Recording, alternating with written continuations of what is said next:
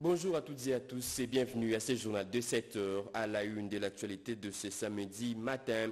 Dramatique naufrage sur la rivière Ubangui, une pirogue couplée motorisée transportant 200 passagers à son bord et des marchandises a fait naufrage.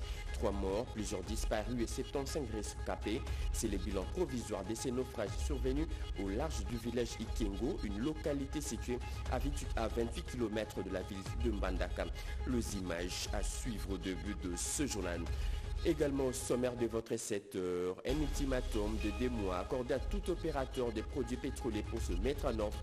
D'ici le mois de novembre, les sanctions sévères sont prévues contre tous ceux qui s'élancent dans des contrebandes. Le ministre des Hydrocarbures, Molendo Sakumbi, a donné ses sursis à là-bas lors du lancement de marquage moléculaire des produits pétroliers. Le détail dans un instant. Et enfin, fini avec le dépôt des diplômes ou attestation de réussite pour s'inscrire à l'université. Les élèves finalistes des humanités vont désormais présenter leur code à 14 chiffres. Ces systèmes automatisés de l'interconnexion visent à lutter contre la falsification des diplômes ou documents similaires. Pour cette première phase, seuls les établissements d'enseignement supérieur universitaire public sont concernés. Voilà tout pour le titre. Mesdames et messieurs, encore une fois, bienvenue à vous sur une régionale, la radio-télévision nationale congolaise. Je le dis à l'entame de ce journal, dramatique naufrage sur la rivière Ubangui. Une pirogue couplée et motorisée transportant 200 passages à son bord et des marchandises a fait naufrage. Trois morts, plusieurs disparus et 75 rescapés. C'est le bilan provisoire de ces naufrages survenus au large du village Ikengo, une localité située à 28 km de la ville de Mbandaka dans la province de l'Équateur. Les surchargements de sacs de maïs et de manioc est à la base de ces drames. Regardez. Ces convois de pirogues couplées motorisées, une embarcation de fortune, HB Igor, appartenant à M. Igor Ngomo Molia, a quitté le territoire de Lukolela le mercredi 21 août 2024 à 16h, avec plus ou moins 200 passagers à bord. Information livrée par le gérant de cette embarcation de fortune, M. Obuto Obe. D'après le rescapé, dépourvu de tous leurs biens, c'est le surchargement de sacs de maïs et de manioc qui est intervenu à Ngombe, village situé à 60 km du territoire de Lukolela qui serait à la base de ce naufrage. Aussitôt alerté, le maire de la ville de Mbandaka, Yves Balo, accompagné de membres du comité urbain de sécurité, ont effectué une descente sur le lieu du drame. L'autorité urbaine a de prime abord procédé à l'identification de rescapés avant de procéder à l'enquête porte à porte. Au cours de cette opération, plusieurs biens de valeur appartenant aux naufragés pillés par les habitants de ce village ont été retrouvés. Lorsque les passagers ont constaté que leur embarcation était inondée, avec la surcharge qu'il y avait, il n'y avait plus moyen et c'était le naufrage.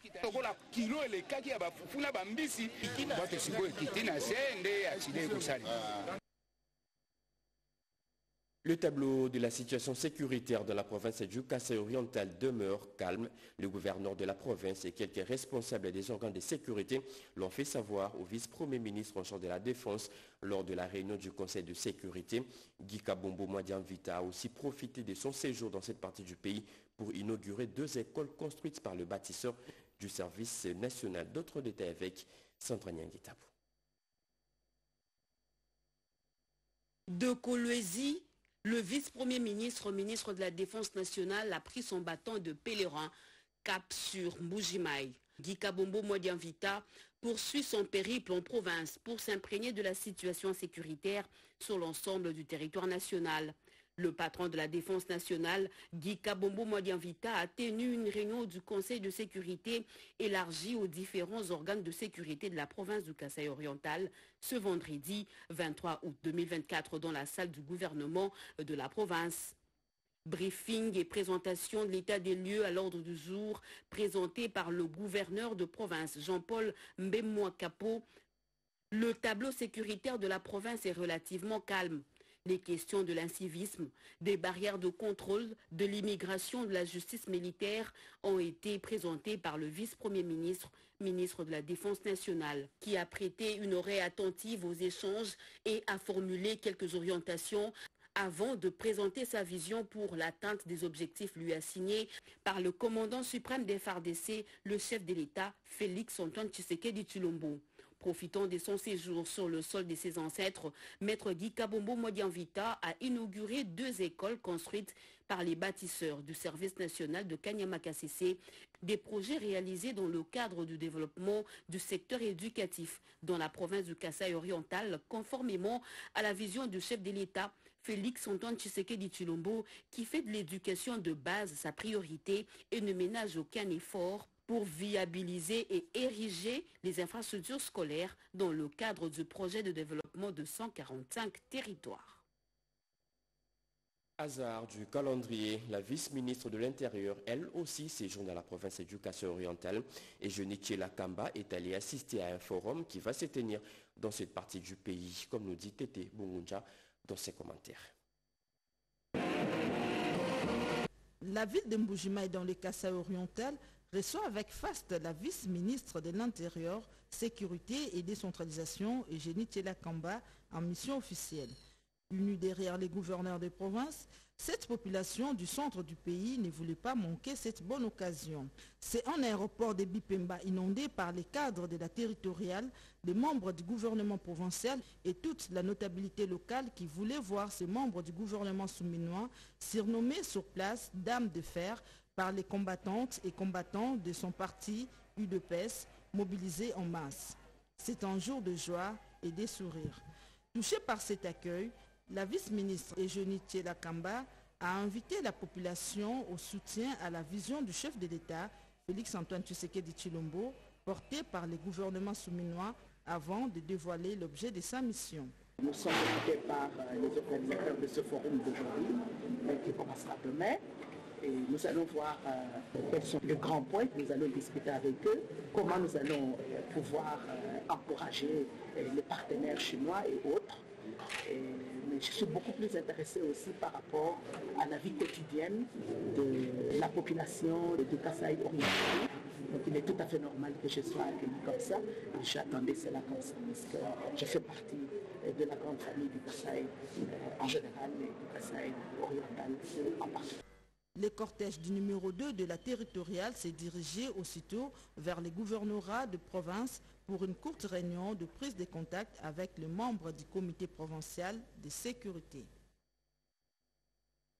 Le programme des Nations Unies pour le développement veut concrétiser tous ses projets phares pour la stabilisation d'une paix durable dans la partie est de la RDC, veut exprimé par le représentant du PNUD au coordonnateur intérimaire national du programme de désarmement, démobilisation, relèvement communautaire et stabilisation PDDRCS au cours d'une audience lui accordée. Peggy Mukunda pour le détail.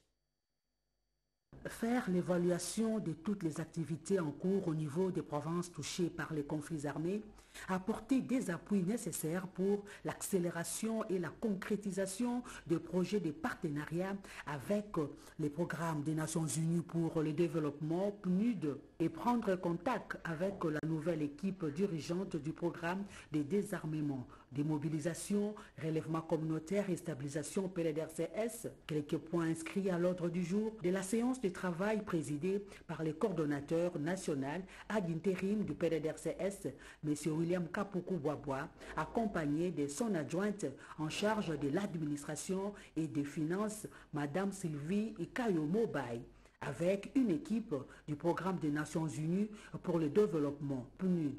Nous avons un, un, draft de programme structurant qui présente les principaux axes qui sont directement alignés sur les cinq axes de la stratégie nationale et sur lesquels on aura certainement euh, la chance de recevoir euh, les observations, les analyses, voire les critiques de la coordination nationale pour nous permettre de, finaliser ce document et de, le mettre en orbite dans, quelques jours.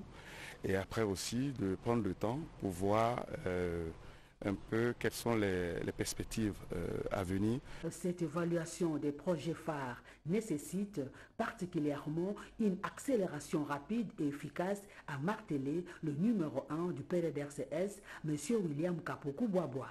Nous sommes ici juste pour euh, voir ce qui a été déjà fait, ce qui est en train de faire, ce qui sera fait, et euh, dans les jours à venir, pour que nous puissions vraiment satisfaire les communautés et les ex-combattants qui nous attendent depuis longtemps.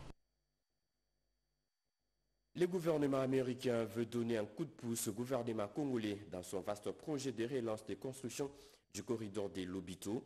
Une grande réunion présidée par le vice-premier ministre en charge des transports, Jean-Pierre Bemba, a mis autour d'une table les délégations de ces deux pays. Nicole Sesseploka pour les explications.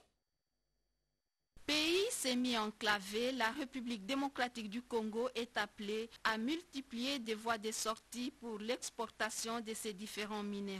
D'où cette importante réunion de haut niveau présidée par le vice-premier ministre, ministre des Transports, voies des communications et des enclavements, Jean-Pierre Bemba Gombo sur les développements et la relance du chemin de fer du corridor de Lobito, avec la participation du ministre d'État des ITPR, Alexis Guissaro, du ministre du portefeuille Jean-Lucien Boussa, mais aussi les représentants du ministre des Finances, du Plan et celui de la Justice. Occasion pour la délégation américaine conduite par l'ambassadrice des USA en poste à Kinshasa, Lucie Tamli, de relever les opportunités qu'offre le corridor de Lobito. Nous sommes là pour euh, travailler ensemble avec le gouvernement de la RDC et la République démocratique du Congo en général par rapport euh, au développement du corridor de l'Obito. Ce n'est pas seulement les chemins de fer qui nous intéressent. Nous avons, pendant cette réunion, discuté d'autres euh, projets qui sont liés à, ce projet. Dans cette réunion, nous avons vu ensemble comment ces autres projets entrent en interconnexion avec le projet du corridor de l'Obito. Le coordonnateur de la cellule d'appui et de suivi des programmes et activités du corridor des transports salue ce partenariat avec le gouvernement américain. Les plans de relance 2023-2024 de l'île maritime congolaise à l'heure de l'évaluation. Il a été examiné par le membre du conseil d'administration au cours d'une réunion ordinaire tenue hier aux installations des sites entreprises publiques. Au cours de cette réunion, la problématique des investissements s'est également invitée sur la table des discussions. Chimedondo pour le détail. La relance du géant des mers est une action irréversible soutenue par le gouvernement de la République qui porte la politique générale de la vision du chef de l'État, Félix-Antoine Tshisekedi Chilombo. Ces conseils d'administration ordinaire de l'île maritime congolaise, sous la présidence du PC à la mer Mendeo Malanga, a examiné et évalué les plans de relance 2023-2024 dont le résultat ne sont pas à démontrer. Parmi les points essentiels qui ont été débattus, d'abord euh, la présentation des nouveaux censeurs. Vous savez qu'il y a un nouveau gouvernement qui est en place donc, euh, LMC étant une entreprise euh, ayant un actionnaire unique, l'État. Nous avons également parlé des investissements en matière de transport maritime, c'est-à-dire acquisition de navires. Alors, nous avons fait le point des contacts que nous avons avec les partenaires qui travaillent avec nous pour replacer l'île maritime congolaise dans sa fonction de transporteur maritime, mais aussi de transporteur multimodal. Bras séculier du commerce extérieur de la RDC, passant par voie de mer, l'armement national, grâce au management de sa direction générale, avec Jean-Claude Mukenzimbi Mwenza, secondé par Gisèle Boancien Moupa, CV conquérant pour ne pas dire compétitif dans le secteur maritime. Et c'est en modelant son personnel et à adaptant sa structure organique en fonction du développement des activités actuelles de l'entreprise. L'aéroport international d'Undjili change petit à petit des visages. Les travaux de modernisation se poursuivent et vont bon train. Dans moins d'une année, une grande transformation s'est fait déjà ressentir, constatée par le président du conseil d'administration de l'RVA, Kinke Mulumba, et le directeur général lors de leur descente sur le terrain. Anita Lombard nous dit un peu plus. Une année après le début des travaux de rénovation des infrastructures aéroportuaires, l'heure est au constat sur son évolution. C'est dans ce contexte que s'inscrit cette visite d'inspection marathon du comité de gestion de la régie des voies aériennes sous la conduite de Trifon Kinkemulumba à l'aéroport international d'Unjili. Il se dégage cependant une note satisfaisante. Le PCA de la RVA, Trifon Kinkemulumba, se félicite de l'état d'avancement des travaux, saluant ainsi l'observance des instructions par le nouveau commandant de l'aéroport international d'Unjili, porte d'entrée et de sortie aérienne du pays.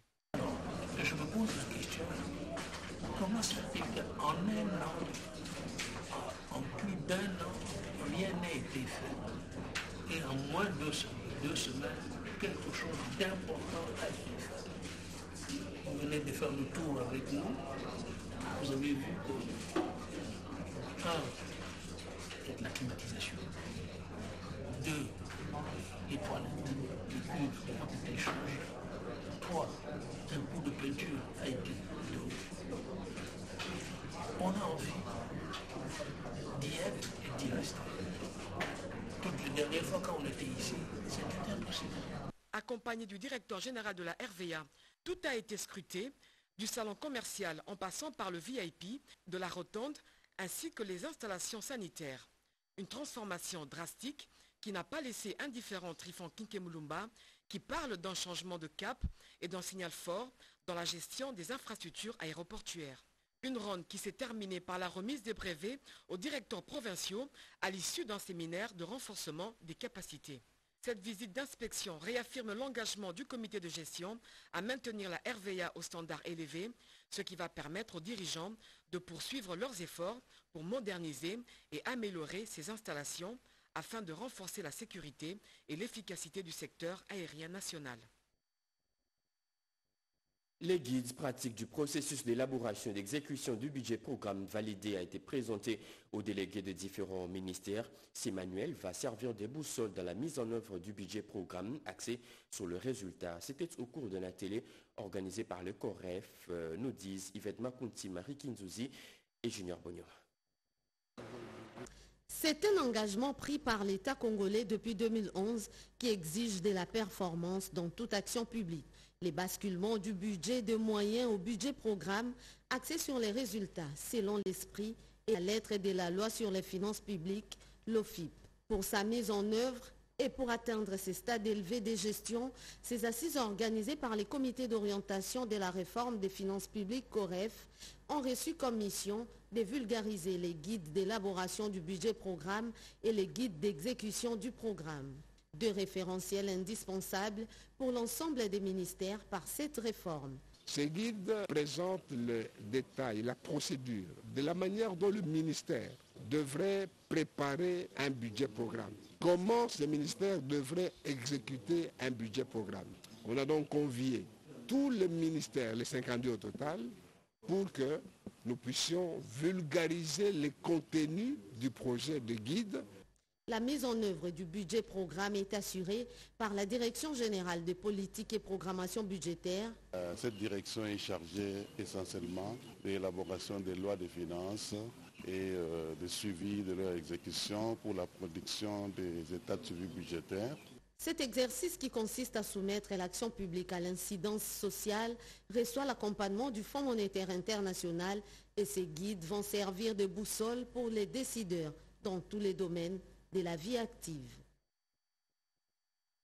Les grands salons sur l'agriculture et du digital 2024 s'est ouvert hier à Lubumbashi dans le au Katanga et c'est le directeur général intérimaire de l'ANAPI qui a ouvert ses travaux. Ces derniers a aussi exposé sur l'adhésion de l'ANAPI à cette vision. Encore une fois de plus, Yvette Makuntsima. Ce fut un événement des premiers plans qui a rassemblé les principaux acteurs des secteurs agricoles et technologiques. Les grands salons de l'agriculture et du digital 2024 a marqué une étape cruciale pour l'avenir de l'agriculture en RDC, particulièrement dans la région du Grand Katanga. Le cofondateur et président du GESAD a exposé la vision ambitieuse qui anime ces salons. Il a mis en avant l'importance de l'intégration du digital dans le développement du secteur agricole, une approche innovante destinée à moderniser l'agriculture congolaise et à renforcer la position du pays sur la scène internationale. Le professeur Bruno Chibangukabaji, directeur général ad intérim de l'Agence nationale pour la promotion des investissements ANAPIC, a salué la vision du chef de l'État, Félix Antoine Tshisekedi Chulombo, pour le développement du secteur agricole à travers des initiatives, notamment les routes des desserts agricoles et les chaînes des valeurs inscrites dans le programme de développement local des 145 territoires. ANAPI encourage des chaînes de valeur dans les différentes filières agricoles, vision qui permettra de moderniser et de développer le secteur agricole. Le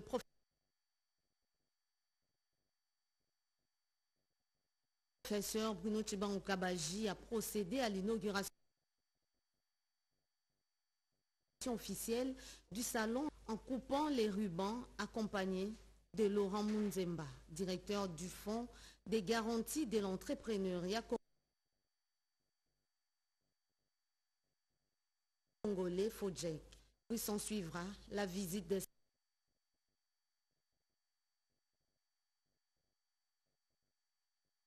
stands par le ministre provincial et différents directeurs généraux présents. 310 000 dossiers ont été traités par la société d'exploitation du guichet unique du commerce extérieur Seguiz au cours de l'année 2023. Cette société a déjà 18 sites ou bureaux de liaison à travers le pays et dispose de 26 000 utilisateurs, des chiffres communiqués par son directeur général au cours d'une journée porte ouverte. Cédric Kenina pour les explications. Des journées portes ouvertes pour mettre en relief les activités de la société d'exploitation du guichet unique intégral Ségus RDC, qui est en somme une plateforme dématérialisée accessible 24 heures sur 24, 7 jours sur 7, par Internet et par réseau privé entre opérateurs et usagers dans les opérations de commerce international en RDC. Assis sur un réseau de 26 000 utilisateurs qui gravitent autour des opérations d'import et export, les transits et autres types de transports. Riche de son expérience depuis 2015, les bilans chiffrés de Yolande Leroux, directeur général du Ségus RDC et son équipe est jugé satisfaisant. Une journée dédiée à la communauté du commerce extérieur. Nous avons euh, aujourd'hui 18 sites 18 implantations dans le pays, avec des, des, bureaux de liaison. Et nous travaillons donc à la fois à la formation, à l'accompagnement et au support client des utilisateurs du, guichet unique, bien évidemment. Nous avons 26 000 utilisateurs. En 2023, nous avons traité 310 000 dossiers. Le guichet unique est une plateforme électronique qui est disponible sur Internet. Autre temps fort de cette journée portes ouvertes, c'est le talk show qui a permis aux visiteurs d'avoir des réponses à leurs préoccupations. S'en est suivi une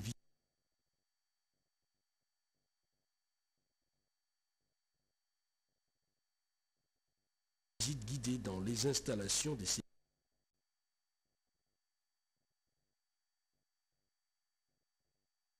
Ségus RDC. Ségus RDC, opérationnel depuis 2015, a entre autres permis la simplification des procédures, des formalités pour l'entrée, sortie et transit des marchandises. Un ultimatum de deux mois accordé à tout opérateur des produits pétroliers pour se mettre en ordre D'ici le mois de novembre, des sanctions sévères sont prévues contre tous ceux qui se lancent dans des contrebandes. Le ministre des Hydrocarbures, Molendo Sakoumbi, a donné ses sursis à Lualaba lors du lancement du marquage moléculaire des produits pétroliers. Ces nouveaux systèmes visent la traçabilité accrue des produits pétroliers qui entrent sur le sol congolais. Plus de précision avec Edith Chalakatala. 80% de consommation des produits pétroliers et minières dans la zone sud. C'est aussi la zone où la contrebande bat son plein et fait perdre au trésor public d'énormes recettes fiscales et parafiscales. Ayant décidé le programme de marquage moléculaire des produits pétroliers pour lutter contre la fraude, le ministre des Hydrocarbures, Aimé Sakumbi Molendo, est arrivé à Kolwezi en visite d'inspection. Les premières impressions sont bonnes. Trois des quatre opérateurs visités procèdent déjà au marquage moléculaire et les efforts sont donc à poursuivre. Comme il l'a fait dans le Haut-Katanga, et Sakombi Molendo a rencontré la gouverneure du Lualaba, Fifi Masuka Saini, pour solliciter son accompagnement. La carotte cédera au bâton d'ici novembre pour un véritable coup d'arrêt à la manne contrebandière. Une des premières réponses du gouvernement, c'était donc d'assurer la traçabilité des produits pétroliers qui entrent dans le centre d'approvisionnement et de consommation sud. Nous avons lancé avec euh, le collègue des mines nous sommes donc dans une visite de sensibilisation et à partir du 1er novembre, nous allons rentrer dans le barème des sanctions. Toute la zone sud est désormais soumise à ce marquage moléculaire. Les centres d'approvisionnement et les consommateurs devront y veiller. Fini avec les dépôts de diplômes ou attestations de réussite pour s'inscrire à l'université. Les élèves finalistes des humanités vont désormais présenter leurs codes à 14 chiffres. Ces systèmes automatisés visent à lutter contre la falsification des diplômes ou documents similaires. Pour cette première phase, seuls les établissements d'enseignement supérieur universitaire public sont concernés. Décision prise lors deux échanges entre la ministre de l'Éducation nationale Raïssa Malou et sa collègue de l'enseignement supérieur universitaire Marie-Thérèse Sombo. Anastasie Doumbou a assisté à ces discussions. Un dispositif de l'interconnexion pour lutter contre la recrudescence des problèmes liés à la falsification des diplômes d'État et d'attestation des réussites lors de l'administration dans les établissements supérieurs et universitaires, question d'améliorer la qualité de l'enseignement supérieur et universitaire en République démocratique du Congo. La ministre d'État, ministre de l'Éducation nationale et nouvelle citoyenneté, Raissa Malou, s'est entretenue avec son collègue de l'ESU, Marie-Thérèse Sombo, lors d'une séance de travail en vue d'inscrire ce projet qui entre dans le cadre de renforcement de l'intégrité et de la transparence du processus de traçabilité des diplômes d'État, d'inscription et d'admission des élèves diplômés au sein des universités congolaises. Aujourd'hui, si un finisse avait s'inscrire à l'université, au lieu d'apporter ses documents physiques, il n'aurait juste à présenter son code à 14 chiffres. Et les systèmes du ministère de l'enseignement supérieur universitaire sera en mesure d'interroger la base de données du ministère de l'Éducation nationale pour recueillir toutes les informations sur les candidats. C'est donc un système entièrement automatisé qui nous protège et qui nous garde de tout faux document, mais aussi un système intelligent qui nous permet d'avoir la traçabilité. Nous voulons matérialiser euh, les SIG, les systèmes d'information euh, pour la gestion de l'éducation, mais on a commencé par un point celui euh, des inscriptions au niveau universitaire. Ce projet concerne dans un premier temps les secteurs publics de l'enseignement avant naturellement de s'étendre sur les secteurs privés. Les étudiants Alma sont à Kinshasa dans le cadre de leur stage. Ces moments a été mis à profit par ces Allemands pour s'informer sur le rôle du Parlement congolais dans la consolidation de la démocratie. Ils ont échangé avec le premier vice-président de l'Assemblée nationale, Jean-Claude Chilumbaï, Alembikaï, pour le reportage. À Kinshasa pour une conférence de partage d'expérience entre étudiants congolais et allemands boursiers de la fondation allemande Konrad Adenauer qui a débuté depuis le mardi 21 août à la salle des banquets du Palais du Peuple, ces jeunes chercheurs ont eu à échanger avec le premier vice-président de l'Assemblée nationale.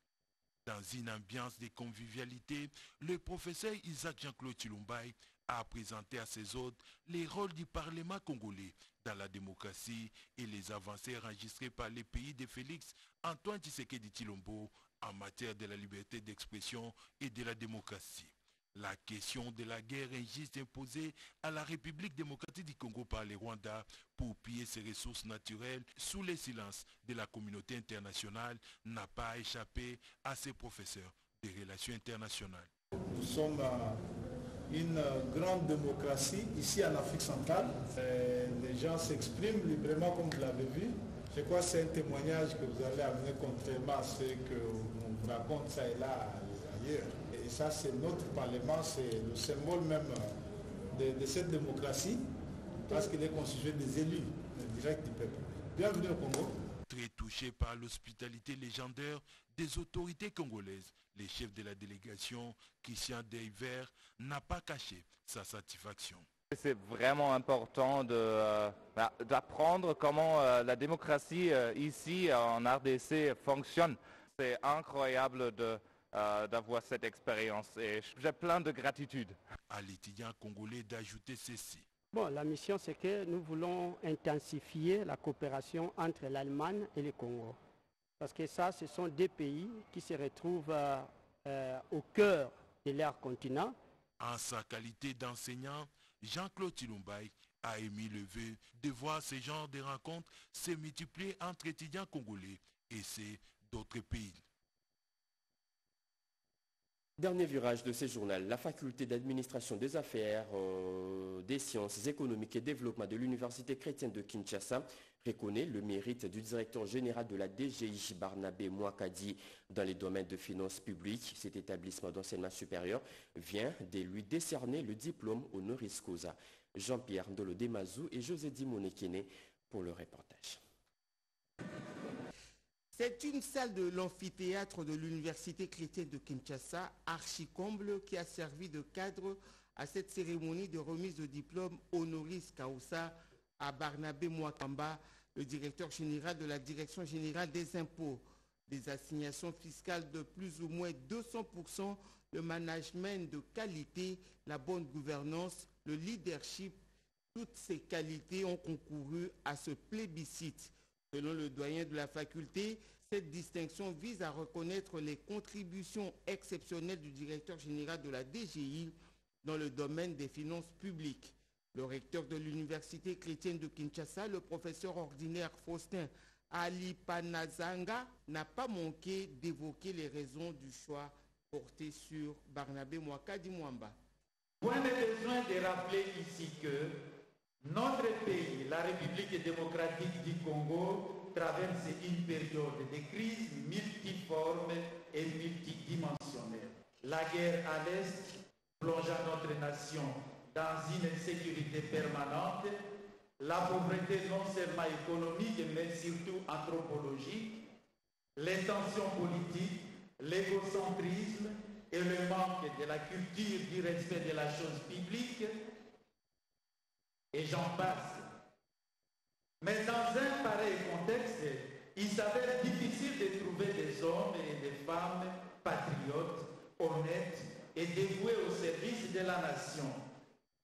Néanmoins, au milieu des ténèbres envahissant notre pays, notre regard scientifique et perspicace nous a conduit à déceler une étoile qui se distingue par sa brillance. C'est donc une grande reconnaissance de l'Université chrétienne de Kinshasa aux efforts du directeur général de la DGI qui demeure un exemple dans la maximisation des recettes de l'État.